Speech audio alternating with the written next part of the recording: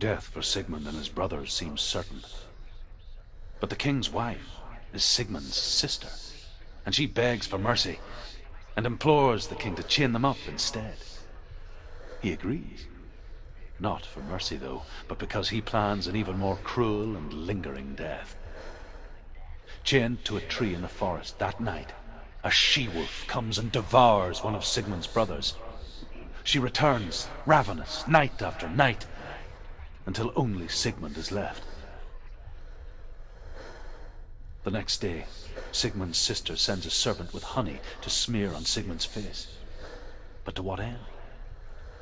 Well, that night, when the she-wolf appears again, you'll never guess what happens.